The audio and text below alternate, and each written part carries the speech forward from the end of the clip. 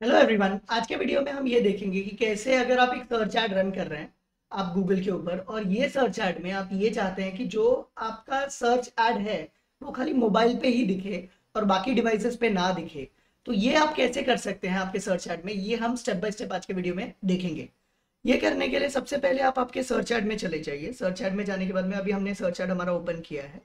ये ओपन करने के बाद में यहाँ पे नीचे में अगर जाऊँगा तो यहाँ पे डिवाइसेस करके ऑप्शन है जिसपे आपको क्लिक करना है।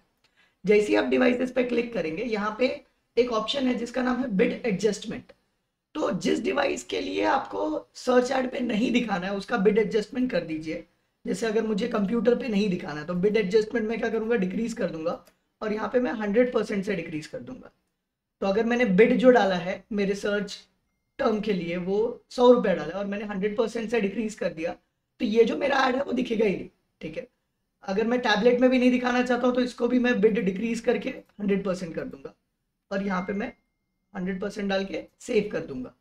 तो जैसे ही मैं ये सेव करूँगा तो ये दोनों डिवाइस के लिए मेरा ऐड नहीं दिखेगा।